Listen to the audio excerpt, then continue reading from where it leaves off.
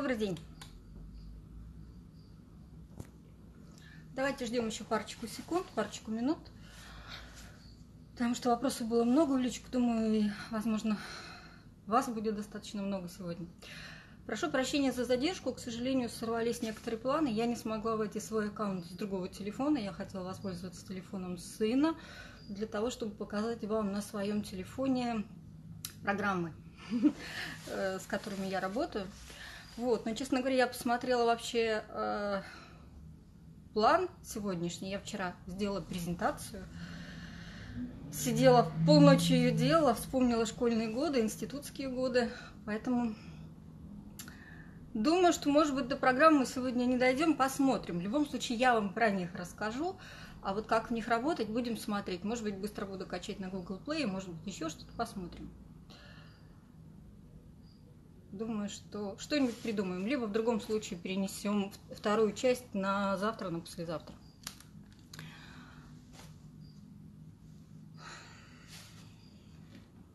Так, сейчас я пока запущу презентацию, пока вы присоединяетесь.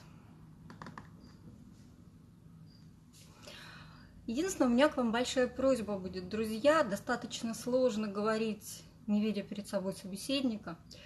Поэтому вы, пожалуйста, периодически э, подавайте какие-то знаки. Не знаю, ставьте сердечки, лайки, машите руками. Ну, в общем, пожалуйста, как-то вот подавайте мне, что вы, что вы здесь. Чтобы чтобы меня поддержать, потому что я на самом деле тоже немножко волнуюсь.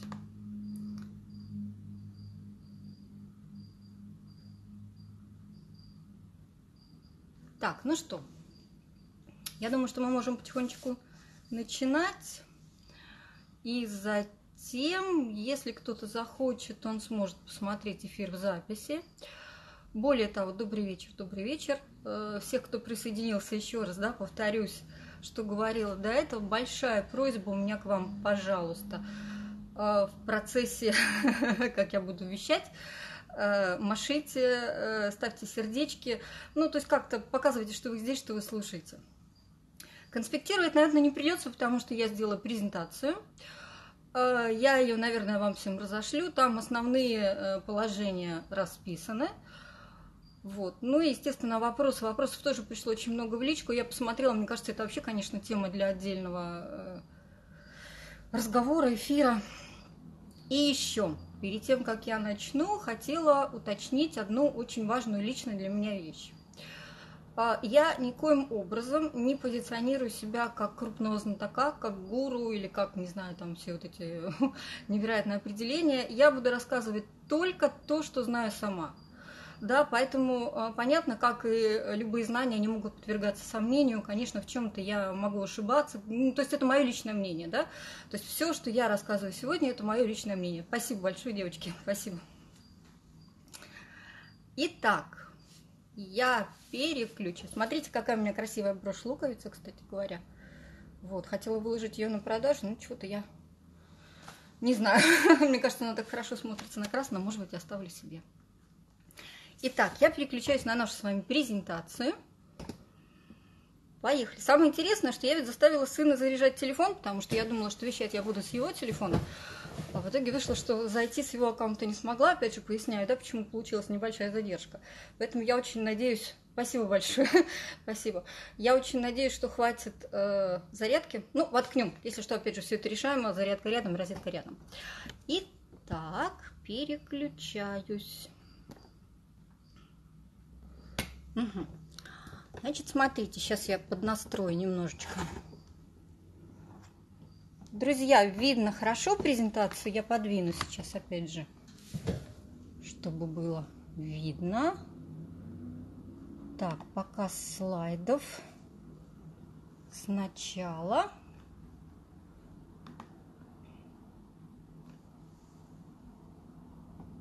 Видно, да? Конечно, не очень удобно, что э, вот этот вертикальный кадр, да, который, конечно же, очень многих раздражает, но, к сожалению, ну, нет других вариантов, да, у нас с вами. Итак, Инстаграм легко и красиво. Вот так я назвала сегодняшнее занятие. Может быть, когда-нибудь, не знаю, я, конечно, училка еще та, может быть, когда-нибудь это вырастет в какой-нибудь курс.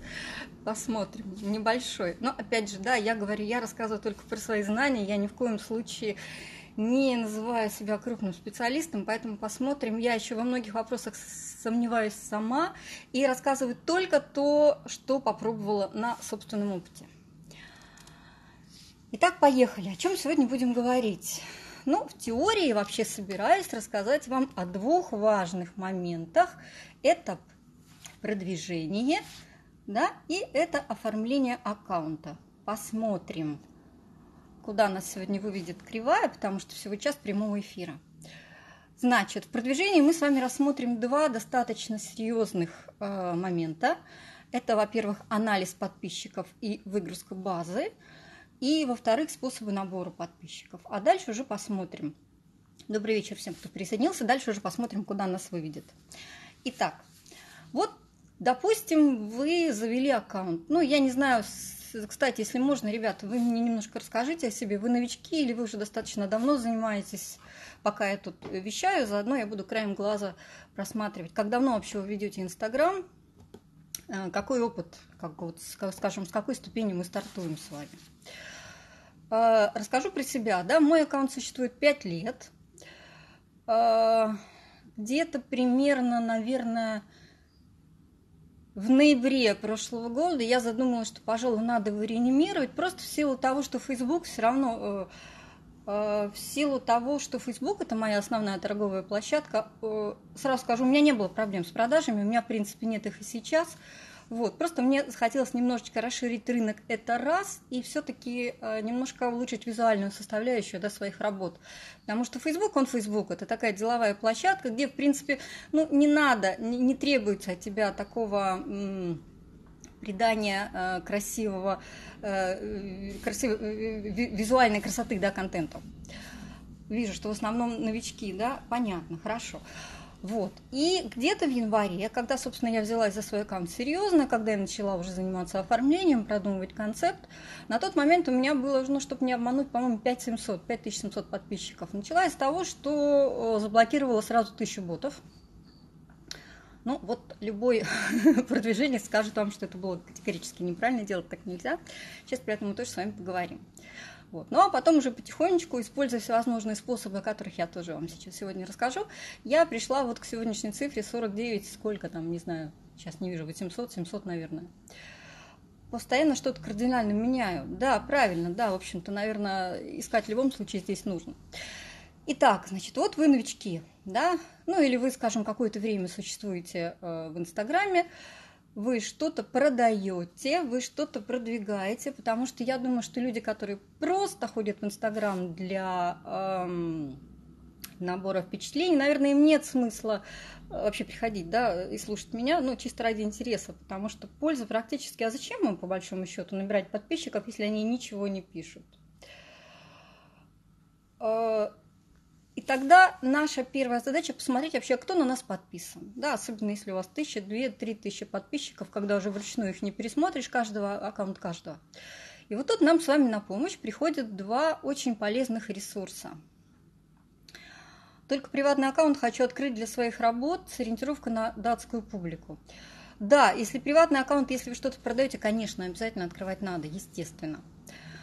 Итак, ладно, давайте вопросы оставим на потом, да, чтобы я э, как бы буду проглядывать, но реагировать не буду. Итак, Picolytics и LiveDune. Это два таких крупных сервиса, которые осуществляют анализ вашей э, статистики, смотрят, кто ваши подписчики. А, сразу э, отличие, которое кидается, бросается в глаза, это стоимость. Вот сейчас не обмануть, чтобы вчера смотрела, по-моему, Live Dune, один аккаунт в месяц стоит 199 рублей ведение статистики, Picolytics стоит, э, по-моему, до 5000 подписчиков 5 долларов, до 50 тысяч 10 долларов, в общем, что-то вот, или 15, вот в таких пределах каких-то. То есть Live Dune, очевидно, дешевле, да? И Live Dune, сейчас мы посмотрим с вами э, следующее, я перелесну, дает чуть-чуть больше статистики, чем Picolytics, но Пикалитикс умеет делать одну очень интересную вещь. он может определить процент ботов в вашем аккаунте. Кто такие боты, да, условно говоря, почему вообще с ними нужно бороться?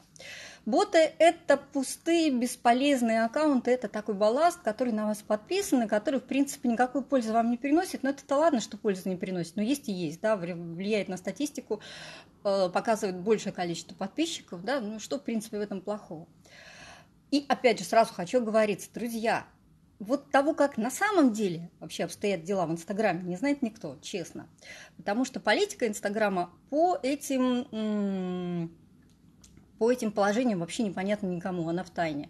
То есть как Инстаграм выбирает, как он показывает, вот на, на, на какой системе основано это ранжирование, да, это все совершенно непонятно. Поэтому я, я сейчас вам рассказываю предположения, все вот э, продвиженцы, все э, люди, которые за ними вообще ведут какие-то курсы, они только рассказывают собственные предположения, потому что, к сожалению, реальных, реального положения дела никто не знает. Ну так вот, по предположениям, да, на которые, в принципе, достаточно успешно подтверждаются, а, условно говоря, у вас охват 20%. То есть, ну, не бывает такого, чтобы э, ваши посты показывали 100% ваших подписчиков.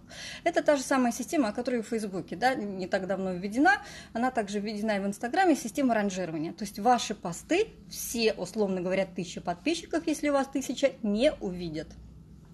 Ну, скажем, не больше 20% увидят. А если у вас плохой охват, то еще и меньше. Да? То есть увидят, условно говоря, 200 подписчиков. Но если из этих 200 у вас, из, этих, из 1000 у вас 500 ботов, да, и представьте вот 200 подписчиков, которые увидят ваши посты. Из них еще и половина ботов окажется. То есть к чему это приводит? К тому, что охват реальный, то есть сколько, какое количество подписчиков живых видят ваши посты, он, к сожалению, небольшой. И чем больше процент ботов среди ваших подписчиков, тем меньше процент живых, реальных людей, ваших потенциальных покупателей, собственно говоря, увидит вообще то, что вы пишете. Да? Э, поэтому чем меньше ботов, тем выше ваш охват.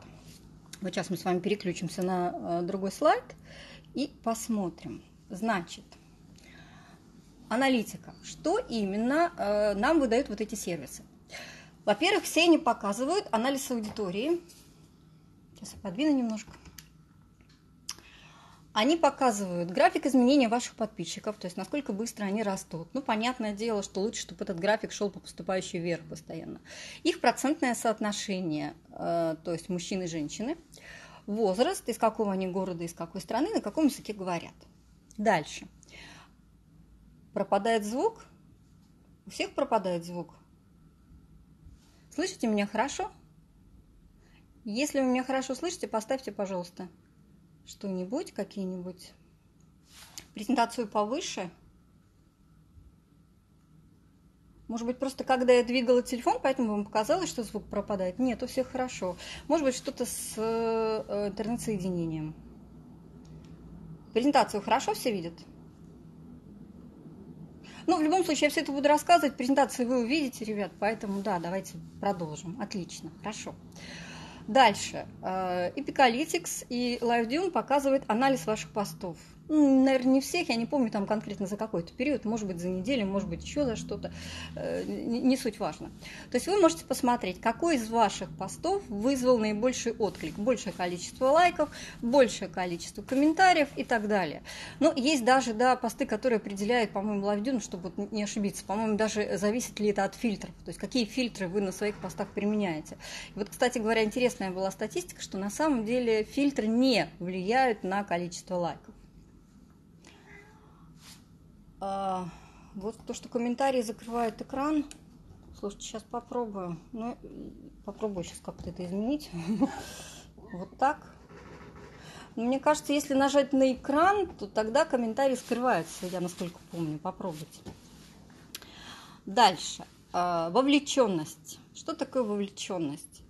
Это какая доля от ваших подписчиков реагирует на ваши посты. То есть, условно говоря, у вас тысяча подписчиков – какое количество отреагировало. То есть мало того, что увидела в ленте, да, но еще и как-то ну, как, какую-то реакцию как бы выдала. охват. Это вообще скольким аккаунтам показывают. То есть, опять же, да, вы можете судить, что если у вас там, как, какой он ваш охват, сколько процентов Инстаграм. То есть, вот, э, как правило, да, скажем, 20 процентов это достаточно неплохо. А, если у вас 5000 подписчиков, то 1000 и увидит, да, но вот при, при стандартных условиях, при обычном размещении поста. Если пост вдруг вызовет какой-то резонанс, если начнется большое количество комментариев, охват увеличивается. Инстаграм начинает, ну, Инстаграм думает, что это интересный пост, и начинает... Э, показывать большему количеству ваших подписчиков. Поэтому вот э, вовлеченность это как раз вот доля, да, это для нас достаточно важная величина, потому что от нее зависит, как много ваших подписчиков в конце концов увидит то, что вы пишете. Дальше. Он показывает статистику по сторис. Правда, вот вчера, когда я смотрела, статистики не было, потому что в связи с недавним обновлением Инстаграма, возможно, вы слышали, там были обновления по политике безопасности, закрыли очень многим сервисам аналитики доступ вообще к статистике, поэтому сейчас многие из них страдают. Пока не было статистики по сторис, но, в принципе, ее достаточно неплохо, можно посмотреть саму сторис, махнув ее наверх. По-моему, это в бизнес-аккаунтах бизнес работает. Дальше. LiveDune а, показывает упоминания по их собственной базе блогеров, то есть не просто упоминания вообще, да, сколько раз там вас упомянули во всевозможных розыгрышах, перепостах и так далее, а именно по конкретной базе, именно у людей, которые влияют на мнение, так называемый лидер мнений. Смотрим дальше. И вот у нас, собственно говоря, блокировка ботов, да, каким образом нам ее сделать. Вот это вот здесь вот небольшой график, это вот то, что Пикалитикс показывает мне, что вот но это не конкретно мои цифры, это вообще такие общие цифры, да, что вот до выгрузки там было, условно говоря, вот столечко опустилось вниз, потом вот вы выгружаетесь, и у вас увлеченность вырастает. Ну, я вам хочу сказать, да, правда, ребят, это работает. Когда вот я бухнула тысячу или даже полторы тысячи ботов, я не помню, значит, много я забронировала, заблокировала в январе, узнав про э, э это, интересно, это, это интересный факт. Вовлеченность у меня действительно очень сильно выросла. Но чем больше у вас количество подписчиков – тем меньше ваша вовлеченность. К сожалению, это так работает. То есть, условно говоря, когда у меня было, допустим, 5000 подписчиков, вовлеченность у меня была 14-15%, условно говоря, сейчас не помню точно, 17, может быть, даже, может быть, что-то вот так вот. То есть 17% из базы моих подписчиков реагировали на мои посты, ставили лайки и комментировали. Не видели в ленте, а именно реагировали, да? То сейчас, вот, чтобы не соврать, по-моему, от 3 до 5 на разные посты она и э, в связи с тем, что количество подписчиков, э, количество подписчиков выросло, да. Э, и LiveDion, вот, кстати говоря, помимо того, что показывает вот в это ваш коэффициент вовлеченности, он еще и сравнивает вас с другими аналогичными аккаунтами. И он показывает, как обстоят ваши дела. То есть, как правило, он пишет, у вас там дела, там, у вас в два раза больше, чем у среднего а, аккаунта такого же, как у вас. Или у вас в три раза больше, или у вас в четыре. У меня даже, кстати, было в пять, когда я начинала. Когда вот я почистила базу, у меня даже было в пять раз больше, чем у других аккаунтов аналогичных. Вот, поэтому все-таки, да, чистить базу нужно. Но смотрите, какая опасность вас здесь подстерегает. Вообще, что такое боты? Кого считает ботами э, любая система? Как правило, это не только коммерческие аккаунты, это не только пустые аккаунты, это аккаунты, у которых количество исходящих подписок, то есть те, на кого они подписаны, больше 800, 900, 1000, может быть 1200. Я не знаю, там у всех разные критерии, кого конкретно они считают они, они не, э, не объясняют. Да?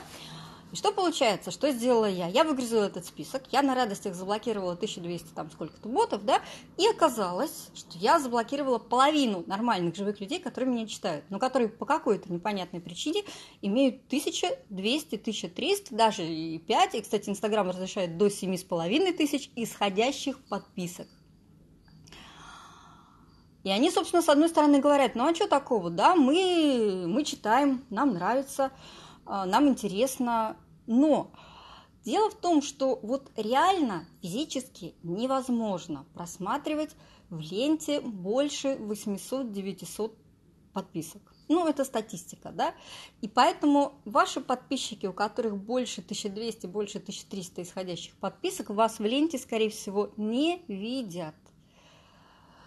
И тут, конечно, дилемма, да, с одной стороны, блокировать их жалко. Но почему вообще блокировать, да? Потому что отписаться от них вы не можете. То есть вот в Инстаграме это не Фейсбук. Если уж кто на вас подписан, то он подписан, пока сам не отпишется. Он будет учиться, учитываться в вашей статистике, Инстаграм будет его считать вот в тех процентах, которые он показывает. Да? Вот попадают они в эти 20, и все, и вот мертвые аккаунты. Нет вам от них пользы. Поэтому тут либо проводить, не знаю, информационную работу, да, объяснять, ребят, ну просто, ну нереально вам больше 7 тысяч, ну не сможете вы отсматривать в ленте 1200, ну нереально это. Вот. Либо смириться, да, либо вручную садиться и просматривать базу, искать там знакомых, кого, кого не заблокировать. То есть э, это совершенно не, не специально да, было сделано с моей стороны, это просто ну, вот так вот получилось. Так я попала, и потом вдруг обнаружила, что заблокировала хороших знакомых людей. Ой, простите, пожалуйста, это у меня рванул код. это пришел Паша. Это который толстый, который Григорий. Может быть, вы его знаете, он настолько толстый, что он снес даже вот у меня тут э, штатив. Так вот, каким образом мы можем, собственно говоря, список этих ботов заполучить? У нас с вами три, на настоящий момент, три больших способа. Первый – это выгрузка из Picalytics. То есть там есть такая кнопочка «Выгрузить ботов за 5 долларов». Ну вот 5 долларов, да. Причем, что мне не нравится, ты совершенно не понимаешь, по каким критериям вообще он их выгружает. Второе. Не знаю, работает ли, к сожалению, вчера не работал, до этого работал прекрасно, телеграм-бот, который называется Instaparser, э, нижнее подчеркивание, бот. Вот, ну, может быть, вы его видите. А, вы его запускаете, вводите туда свой э, ник, и он выдает вам общее количество всех ваших подписчиков. Для чего вам это нужно? Я сейчас расскажу, как мы при помощи сервиса InstaPlus э, их фильтруем, определяем ботов и блокируем. Дальше. Третий способ – это парсинг при помощи сервиса FindGram.me. Вот он. То же самое. Заходите, регистрируетесь в сервисе. Если вы зарегистрированы в Инстаплюсе, то Инстаплюс дает вам какое-то определенное количество бесплатных баллов для использования FindGram. Ну, зайдите, посмотрите, вопросы задавайте мне в личку.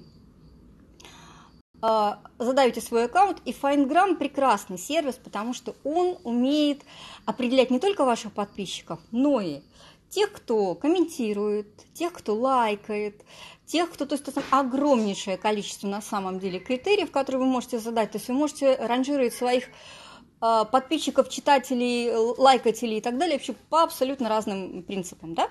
Вот. Но в данный момент мы что делаем? Мы выгружаем просто количество всех наших подписчиков, да? Готово. Поехали. Значит, мы с вами это сделали. Дальше. Сейчас я посмотрю, что у меня там на следующем слайде. Сейчас не помню. Ага, нет, пока нет. Да. Э, дальше. Вы идете в Инстаплюс. А, вот я, честно говоря, думала, что у меня, конечно, будет мой телефон под рукой, я бы вам показала, но сейчас буду рассказывать устно, там достаточно все просто. instaplus.me называется сервис. А, вы там регистрируетесь, и там есть такая Наверное, все-таки, ребят, я вам покажу, потому что это будет, наверное, все-таки проще всего. Объяснять достаточно сложно. Сейчас я туда зайду и расскажу, как это делается. Значит, вот он этот сервис. Сейчас, секундочку. На телефоне было бы удобно, ну ладно. Instaplus.me Резкости нет, ничего, я сейчас наведу, сейчас, подождите, она, в принципе, сейчас пока не очень нужна, или она сама наведется, это просто он... Ага, вот, все, Давайте, сейчас должно быть все хорошо видно. Захожу.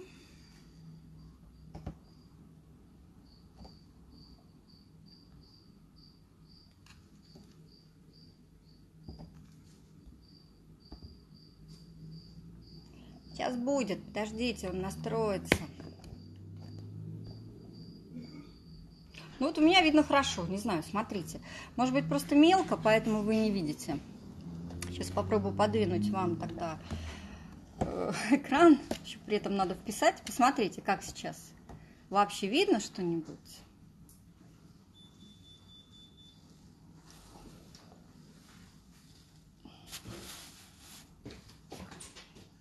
Жду ответа от вас, ребят. Видите, не видите? Тут у меня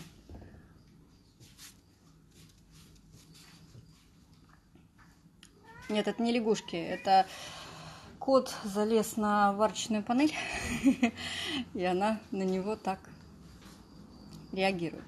Значит, аккаунты. Заходим в. Тут у меня на самом деле два аккаунта, мой и моего сына. Заходим в мой аккаунт, выбираем историю заданий. Вот она, история заданий.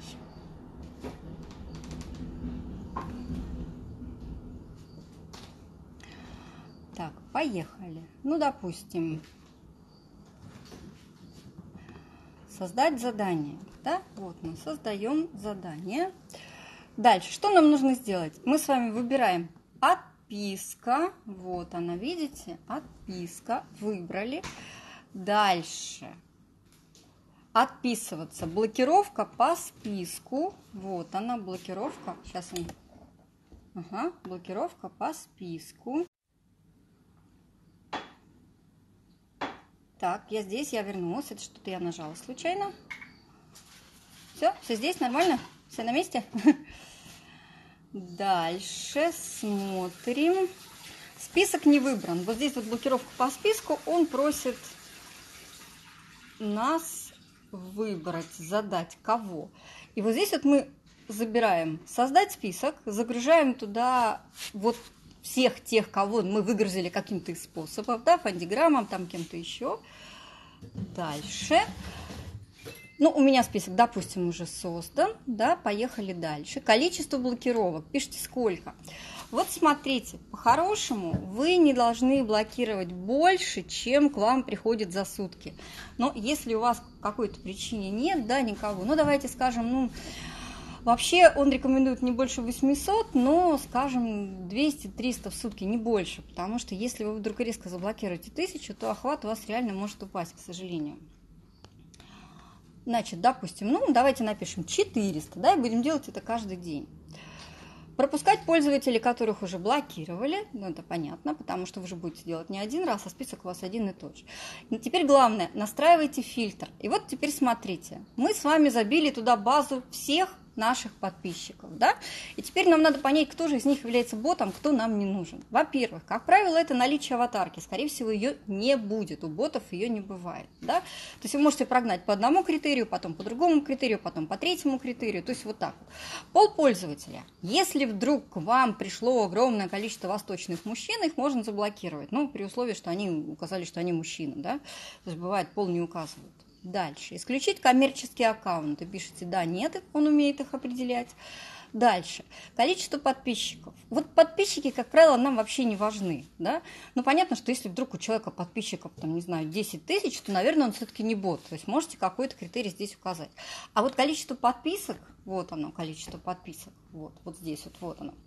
Вот здесь вот уже, уже конечно, нужно какие-то э, ставить критерии. То есть, скажем, вот вы решаете для себя – от 900. Я знаю, что кто-то от 800 блокирует, кто-то от 1200 блокирует. То есть, если подписок больше 1200, этот пользователь попадает у вас в блокировку. Вот 1200, ну и до бесконечности пропускаем, да. Опять же, количество публикаций тоже смотрим. У ботов, как правило, публикаций нет, ну, либо там 5, 6, 9. То есть можете написать, допустим, вот 13 тут стоит, тут можете, вот вы можете написать до 13. Да? Последняя публикация у пользователей тоже, как правило, у пустых аккаунтов месяц. То есть 30 дней назад, 60 дней, 10 дней. Ну, смотрите, да, надо вам смотреть уже конкретно. Наличие аватарки, да, нет э, и так далее. Исключить языки, допустим, опять же, можем исключить какие-то конкретные языки, которые, то есть можем заблокировать китайских ботов, условно говоря, просто беру с головы, ничего не имею в виду и так далее. Стоп-слова и вайт-слова. Стоп-слова, то есть здесь вы можете, допустим, условно говоря, указать лэмфорк, это чтобы случайно не заблокировать э, ваших, э, ну, моих, да, если сейчас говорить о, о стекле, э, коллег, если у них, конечно, это слово где-то стоит в ключевом. Э, дальше. Что еще? Время окончания, ну, это он пишет, понятно, да, таймер с таймером, без таймера. То есть вы можете прямо сейчас запустить без таймера, можете с таймером завтра, послезавтра, допустим, и так далее. Вот на самом деле для чего нужен таймер? Вы можете запустить такое задание каждый день запускать по 400 и расписать его на две недели вперед, да, и нам каждый день по 400 ботов будет блокировать. Вот. Так как мы поставили пропускать уже блокированных, то их трогать не будет, то есть он будет весь этот список отрабатывать у вас от начала и до конца. Вот примерно вот такая система, понятно более-менее. Но смотрите, значит, э, можно использовать не только для этого, да, можно использовать и для другого. Мы про это поговорим с вами чуть попозже. Поехали дальше, возвращаемся к нашей презентации.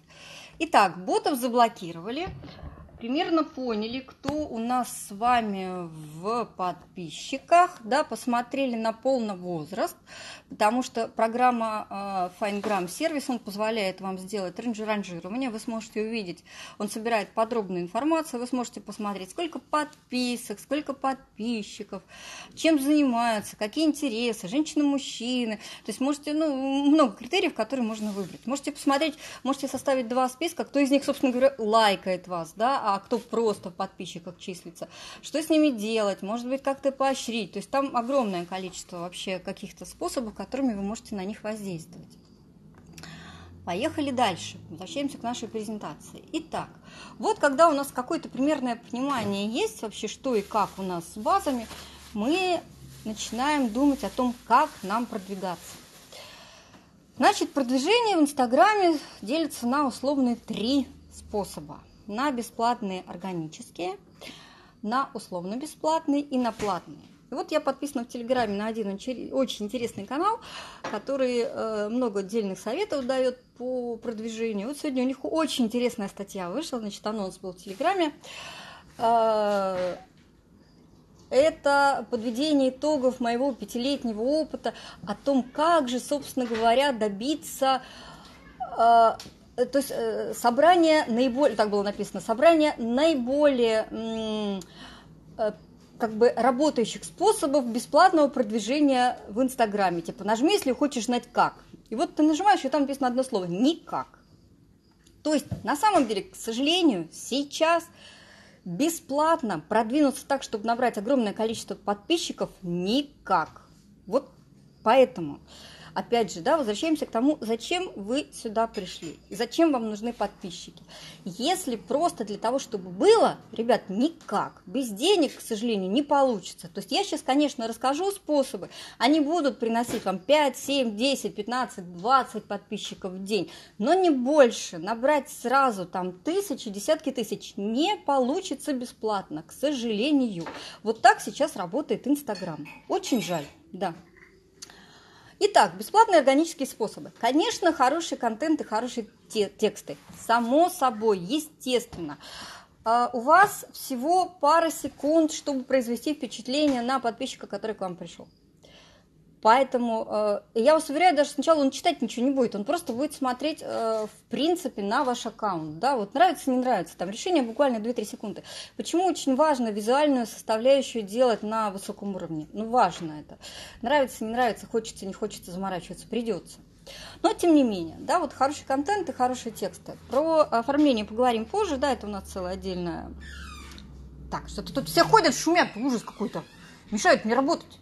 Ужас. Ужас. Накажу всех. Так, пара рекомендаций по текстам. Ну вот что вот сейчас вот из головы, просто что первое, да, что я могу сказать, что заметила. Во-первых, старайтесь писать так, как вы говорите. Что я имею в виду? Это не означает, что вы должны там междометие писать, там, хм, хм, да, у, а, э, слова паразиты. Нет. Представьте, что вы разговариваете с вашим покупателем. Вот старайтесь подбирать такие слова, на которых ваш покупатель разговаривает. Вы более-менее понимаете, все равно вы уже на этом рынке какое-то время есть, да, что бы вы ни продавали, услуги, товары, там, себя даже, да, э, ну, себя в положительном смысле. Вы в любом случае знаете, кто это потребляет, вы знаете, пол, вы знаете возраст, вы знаете примерное социальное положение, уровень.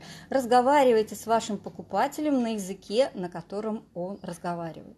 И опять же, обратно это работает. Вот на каком языке вы будете вести свой аккаунт, я сейчас говорю не не о русском, английском, да. Кстати, об этом тоже поговорим. Вопрос был интересный, сейчас я вам расскажу.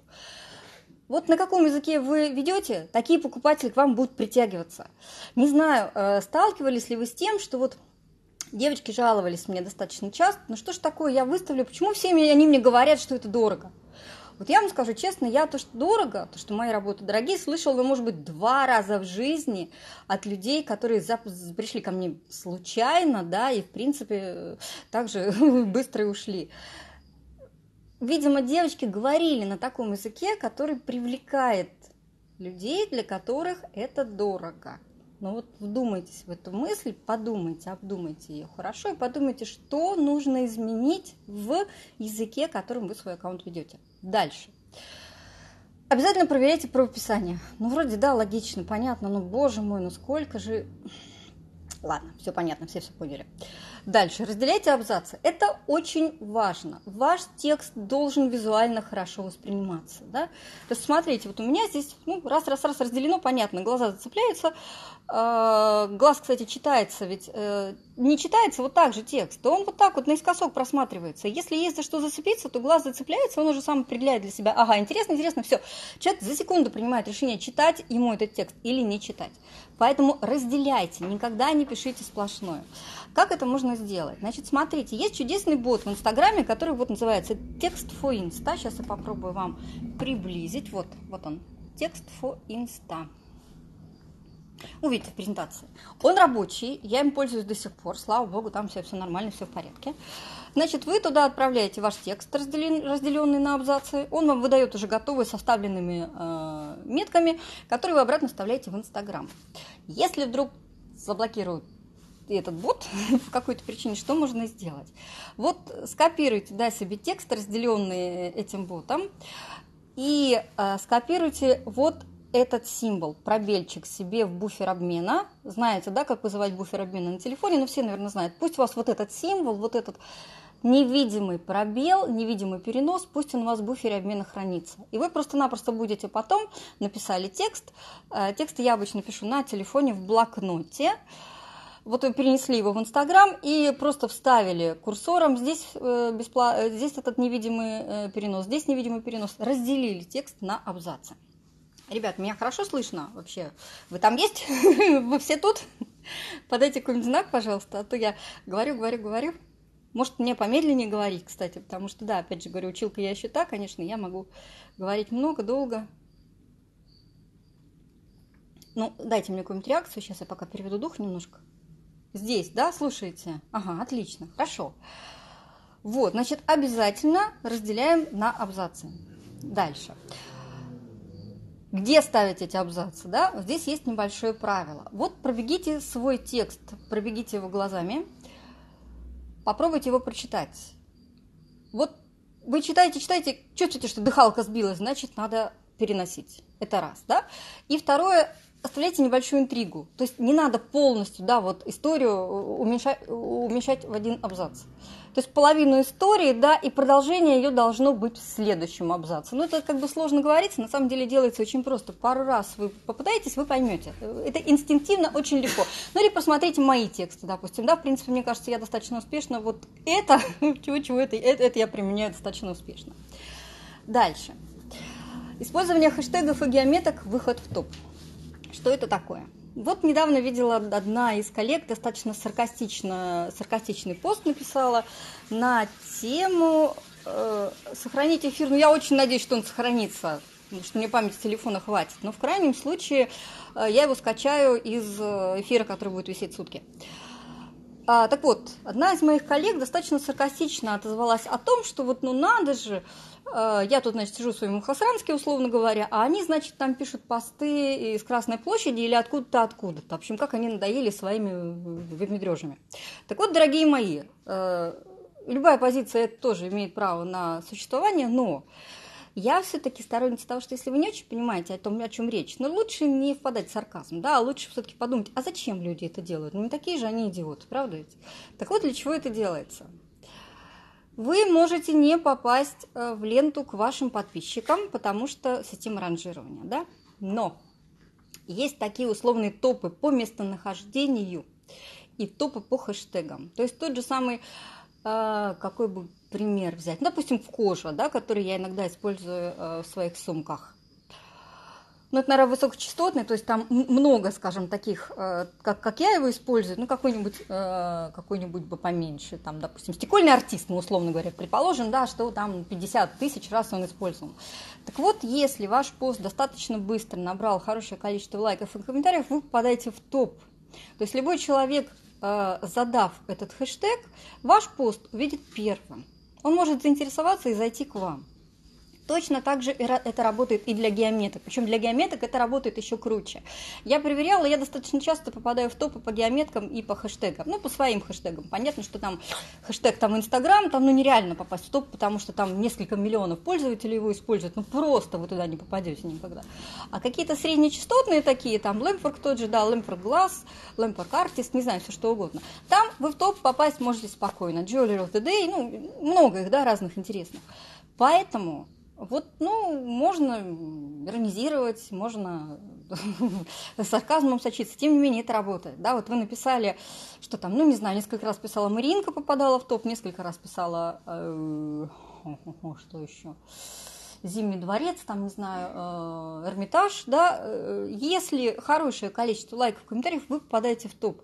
И все люди, которые заходят на по э, этой геометке, они видят ваш пост первым, они могут заинтересоваться, они могут прийти, они могут на ваш подписаться. То есть это такой бесплатный, но если он бесплатный, если он работает, почему им не пользоваться? Дальше. Попадание в интересное. Что это такое? Наверняка, если вы когда-то чего-то в Инстаграме искали, вы попадали на страничку, на которой вам что-то показывали. А вот посмотрите, вот это может быть вам интересно. Да? Вот откуда они берутся, эти посты? Вот если ваш пост ну, опять же, я вам напоминаю, да, что... Так, ребят, телефон разряжается. Сейчас буквально секундочку я его воткну в батарею, э, в, розетку, и мы с вами продолжим. Сейчас, сейчас, сейчас не пропадайте, не теряйтесь. Мне придется немножко подвинуть компьютер. Сейчас я все это сделаю. И мы поедем дальше. Паша, ты у меня попадаешь не попадаешь в трансляцию.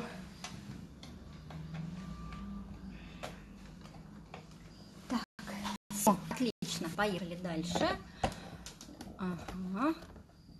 Это хорошо, что сон как рукой сняло. На самом деле ведь это только начало. Слушайте, более интересные вещи, они будут дальше. Это мы с вами уже сколько в эфире, ничего себе. Наверное, даже сегодня придется продолжать, судя по всему. Я прям сделаю, чуть попозже. Так, попадание интересно. Так вот, опять же, напоминаю, что никто не знает точно, как это работает, но э, всеобщее коллективное мнение высказывает э, такой критерий. Если в течение там буквально первых 15-20 минут вы получили там, не знаю, 5, 6, 7 комментариев и большое количество лайков, ваш пост попадает в интересное. Это действительно так работает. Я действительно попадаю в интересное. Как это узнать, сейчас я вам покажу. Вот смотрите, этот аккаунт сына, правда, я думаю, что он не обидится на меня. Ой, есть у него, интересно, вообще какие-нибудь записи, чтобы вам показать? Ну, допустим, вот фотография, да? Вы смотрите статистику. Нет, не в аккаунте. Где он, интересно, где он? Где он ваш? Вот, вот здесь вот, да, наверное. Посмотрите статистику. Вот смотрите, если вот здесь вот, вот показы, видите, здесь из главной из профиля из хэштегов, от хэштегов из другого. А вот если вы попали в интересное, значит вам показывают из интересного. И когда вы попали в интересное, количество охва- э, просмотров, охват увеличивается заметно. То есть, в принципе, вот для чего придуманы все вот эти э, лайк-чаты. Не знаю, знаете ли вы, что это такое или нет. Для чего вообще предлагают сделать накрутку комментариев не для того, чтобы вы были такими крутыми, не для того, чтобы произвести впечатление на конкурентов, да, что вот у вас раз там и сразу тысяча лайков под постом. Нет, ребят, не для этого, а для того, чтобы вы попали в топ и для того, чтобы вы попали в интересное. Ну, во всяком случае, нормальные, вменяемые люди используют это только ради этого. Насколько это корректно, ну, второй вопрос, да. Э, мне недавно одна знакомая сказала, что в бизнесе все средства хороши. Можно с этим соглашаться, можно нет. А, я, мне не очень нравится эта позиция, но тем не менее оно работает. Да? Ну и, наконец, взаимопиар тоже относится к бесплатному продвижению. То есть вы можете договориться с кем-то из э, пользователей с таким же количеством подписчиков, ну или большим. Понятно, что вам это будет интересней, потому что э, он расскажет про вас, вы расскажете про него. Возможно, в теории вы обменяетесь базой подписчиков. Но на практике это не всегда работает так. К сожалению, очень много зависит от того, реальные ли подписчики у того человека, действительно ли они его комментируют. Это примерно как с рекламой блогеров. Об этом говорим чуть попозже. Тем не менее, смотрите. Посмотрите, с кем вы можете договориться, э, с кем может быть сотрудничество интересным. Пройдитесь ну, по коллегам. Слушайте, ну тоже с коллегами, наверное, нет смысла договариваться. Да? Это, в общем-то, ваши это ваши конкуренты, смысл вам делить с ними свою базу. С кем-то из близкого ну, то есть, допустим, не знаю, вот я делаю сумки, с кем не можно договариваться однозначно. Вот есть хороший аккаунт, который делает э, э, органайзеры для сумок внутрь, которые вставляются, да, однозначно, мы друг другу интересно, вот я собираюсь написать, договориться. Шляпы, обувь, одежда, то есть это все, все интересные мне, и я интересна им. В какое время лучше выкладывать посты? Ну, смотрите, на самом деле Инстаграм такой, э, не знаю, дает мне этот лайвдюн однозначно дает аналитику, когда наиболее активно. Вот, но честно, вот честно, э, я не замечала такой зависимости. То есть, допустим, я могу выложить пост в 3 часа, все равно в 7 часов ко мне придут мои подписчики, и все равно они поставят лайки в 7, 8, то есть лайки, э, да, какое-то количество, конечно, я получу сразу, потому что они увидели в ленте, но все равно Инстаграм сейчас, вот за это ранжирование, э, вы, наверное, замечали, что вам могут показывать посты, которые вообще два дня назад были в ленте, да, он растягивает, он размазывает, поэтому я вот лично сейчас не вижу особо э, какого-то смысла посты растягивать по, по, по времени. Дальше. Бесплатные органические способы. Что еще? Сторис. Сторис вообще-то очень важная штука. Я очень долго сопротивлялась, долго ими не занималась, но сторис работает прекрасно, потому что в сторисах ранжирования нет. То есть вот он наверху вам показывает сторис от всех, на кого вы подписаны. Ну и, соответственно, э, ваши сторис тоже видят все ваши подписчики теоретически. Смотрят они их или нет, это второй вопрос, потому что не все еще к ним привыкли. Но постепенно доля просматривающих сторис растет. И в сторис не обязательно выкладывать только вот, что я иду в магазин, кушаю шоколадку, да, вот мой ребенок пописал, покакал, вот мой кот стащил сосиску. Нет. В сторисах можно делать рекламу своим постам, которые, на ваш взгляд, не добрали просмотров. Да? Посмотрите, как я это делаю, посмотрите, как делают это некоторые другие пользователи. Очень красиво, очень интересно. А, чтобы повысить активность, чтобы как можно большее количество реагировало, делайте опросы в сторис делать какие-то какие интересные розыгрыши. То есть вы должны побуждать людей нажать кнопочку, да, совершить какое-то действие. Тогда охват, тогда количество реакций повышается. Дальше. Прямой эфир. Прямой эфир, опять же, это очень серьезный способ продвинуть себя. Вообще себя надо показывать. Вот хочется вам, не хочется. Я страшно не люблю, честно говоря, появляться в кадре вообще. Но, слушайте, вот у меня кот сейчас под шумок ворует котлету с, с плиты. Это так смешно выглядит. Кот, ну-ка брысь, брысь. Вот. Так вот, вот такие вещи, конечно, надо показывать в прямом эфире, потому что это делает вас ближе с вашими покупателями, с вашими читателями. Они понимают, что вы не просто красивая, кар... красивая картинка, ну или некрасивая картинка, да, вы просто, ну вы живой человек, э, с вами можно разговаривать, с вами можно договариваться. То есть вообще вот это очень хорошо работает. Поехали дальше. Так, теперь смотрим на условно-бесплатные способы. Да, эфир я, конечно, сохраню, ребят, обязательно, в любом случае. А, реклама за бартер. Почему бесплатные способы? Ну, потому что, допустим, вот хотите прорекламироваться у кого-то из блогеров, да, денег нет. Некоторые блогеры соглашаются на бартеры. Чем, в принципе, дороже ваши изделия, тем активнее, по идее, они на это соглашаются. Вот. Но, опять же, рекламу у блогеров это, конечно, отдельная история. А, может быть, как-нибудь расскажу, ну, может быть, частично расскажу. Работала с ними. Сегодня немножко затронем эту тему показать, слушайте, я уже его прогнала, да там не на что смотреть, огромный толстый кот, да, и тащит котлету, не успел. Здравствуйте еще раз, да. Так вот, пробуйте, почему нет? Пишите, пробуйте, договаривайтесь, это может сработать, реклама за бартер может сработать. Это все-таки стоит вам немножко дешевле, чем если бы вы заплатили блогеру. Дальше, совместные марафоны. Что это такое? Ну вот собираются там 10 человек, И в течение недели ведут прямые эфиры закрытые для подписчиков своей группы о чем-то интересном. Да, вот сейчас сына Воловичева я краем глаза видела, по-моему, она из Дома 2, она, значит, собирает какой-то там крутой марафон о том, как ладить с мужчинами. Я не знаю, какой Инна Воловичева с мужчинами, честно говоря, я Дом 2 смотрела очень давно по работе. А, когда работала в Мегафоне, Мегафон давал там рекламу в Доме 2. То есть мне просто приходилось, да, отсматривать. Вот. Но, тем не менее, э, э, кто такая, не помню, как у нее с мужчинами, не знаю. Но количество подписчиков от этого прирастает бешено, потому что для того, чтобы принять участие в марафоне, тебе не деньги надо заплатить, а тебе нужно подписаться на вот 10 спонсоров этого марафона. Вот, то есть можно организовывать какие-то общие, может быть, профильные марафоны, может быть, еще какие-то, да, может быть, что-то рассказывать. Но понятно, что чем шире э, тема, тем больше подписчиков вы соберете. Понятно, что э, марафон, не знаю, там о том, как делать бисерные украшения, он прекрасный, он соберет очень много коллег, но он вряд ли соберет ваших покупателей, потому что если бы они могли делать это сами, они бы к вам не пришли покупать. Да? Вот, но тем не менее тема интересная, действенная, э, вы можете на эту тему подумать. Понятно, понятен сюжет, э, понятен механизм, да, еще раз рассказываю. Вы собираетесь там 5, 6, 7, 8, 10 человек, и раз в день в течение какого-то определенного времени ведете мотивационные эфиры или информационные эфиры или еще что-то полезное людям рассказываете, но для того, чтобы им получить доступ, им нужно подписаться на вас и на всех вот этих вот участников, на всех спонсоров, они называются так. То есть это э, единственное, что почему он условно бесплатный, потому что вам, скорее всего, придется дать рекламу где-то, то есть то ли это будет таргет, то ли вы прорекламируетесь у блогера. Чем круче блогер, тем дороже это будет стоить. А для чего это нужно сделать? Вы привлечете большее количество подписчиков. Понятно, что рассказав вот в своем узком кругу, вы расскажете вот эти основные, остальные 10 человек расскажут, да? Вы кого-то привлечете. Но если вы хотите много, тогда рекламироваться придется. Поэтому он все-таки условно бесплатный. Ну и, наконец, розыгрыши. Да? Розыгрыши, розыгрыши.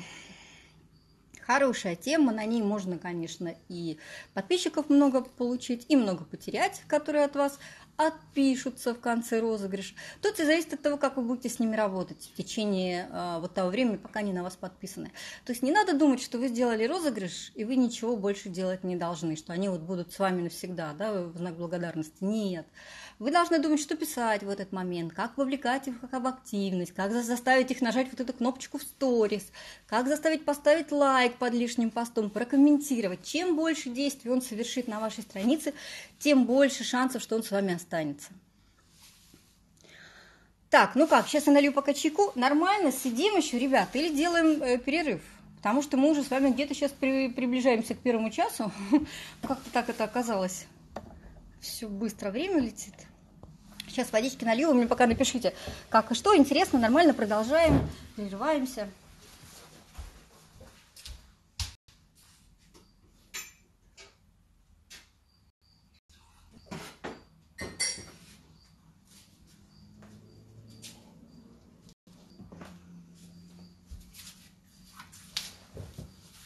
Сидим, хорошо, сидим, отлично. Значит, сидим. Сейчас глотну и продолжим.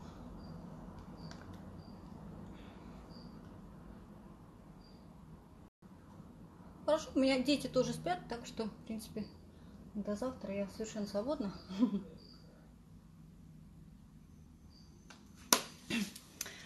Поехали дальше. Платные способы продвижения. Итак, Масс фолловинг, масс лайкинг. Что это такое? Лежим, но слушаем. Понимаем. Знаете, что такое масс фолловинг, масс лайкинг?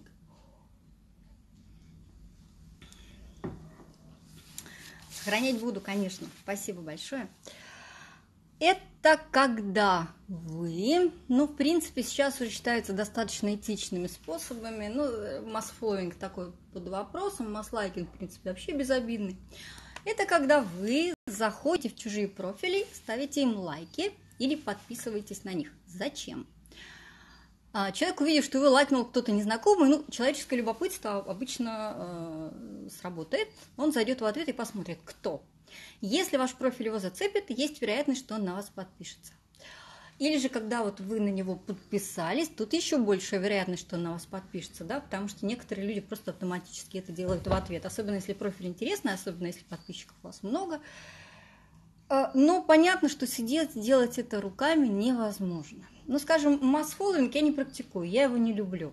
Мне очень не нравится подписываться на людей, к тому же понятно, что я делаю это не руками, я делаю это за меня сервис, мне очень не нравится открывать утром ленту и обнаруживать там большое количество незнакомых мне людей, которые мне не нравятся, которых я бы сроду читать не стала. Вот, поэтому масс-лайкинг, да, лайки, но опять же, что я опять хочу сказать, э, лайки я проверяю. Скажем, их очень просто можно проверить. Есть там э, вкладка в Инстаграме «Понравившиеся вам посты». И я, собственно говоря, хожу и смотрю, кого же мне система лайкнула, да.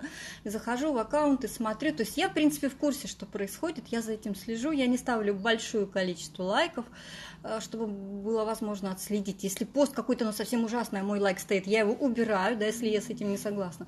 То есть, ну, какая-то этика в любом случае должна быть. То есть я считаю, что на самотек это пускать нельзя. Так вот, значит, есть опять же тот же самый Инстаплюс. А, мы с вами уже смотрели его сегодня. Вы можете задавать ему а, определенные задачи давать. То есть, допустим, сегодня тебе нужно пролайкать там такое количество пользователей. Но он не будет лайкать всех подряд. Да? он может лайкать по каким-то критериям. Во-первых, очень полезно запускать лайки по своим собственным подписчикам. Почему? А ваша задача простимулировать их зайти в ваш профиль.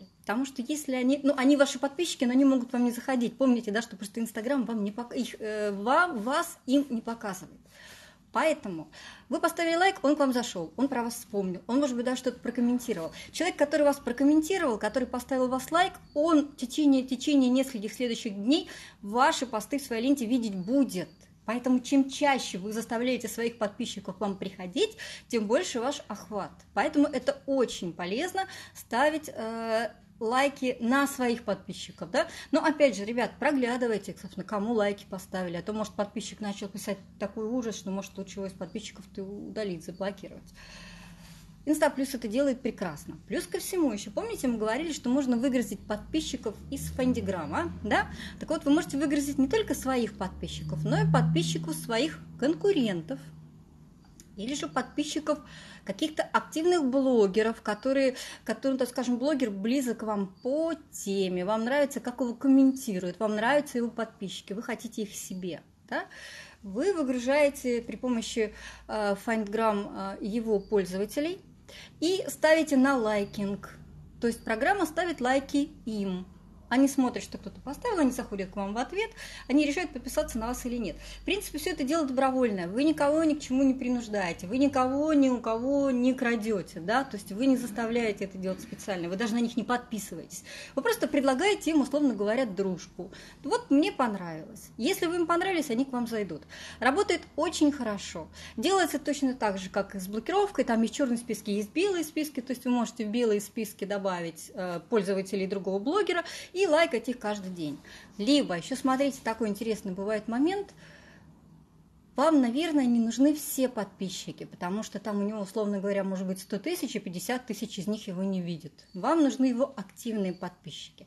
Поэтому при помощи сервиса выгружайте тех, кто его комментирует, или тех, кто его лайкает, и работайте уже с ними.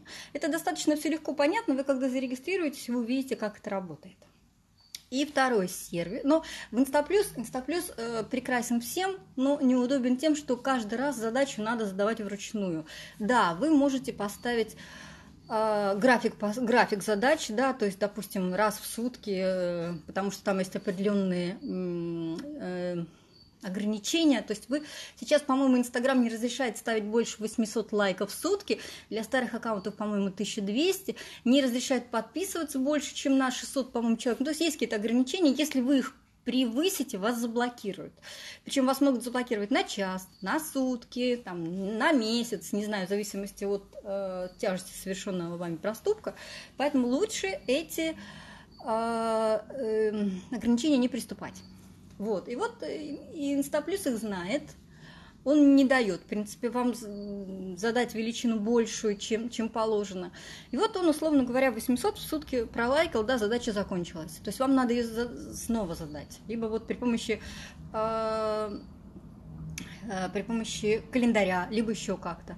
Сервис по выкраске называется FindGram. Он будет, я презентацию разошли, вы все это увидите, FindGram Me. Э, сделали. Второй сервис Zengram.ru, вот он, он тоже занимается масс-фолловингом и масс-лайкингом, но он вообще делает все сам. Вам не надо никаких задач ему задавать. Вы один раз его включили, вы задали э, то, кому будете ставить лайки, то ли своим подписчикам, то ли по хэштегу. Там есть возможность э, лайки по хэштегу. Так, ребята, у нас осталось 20 секунд. Сейчас я выйду и запущу следующий прямой эфир заново. Вот, вы, пожалуйста, тогда э, заходите еще раз. Продолжим.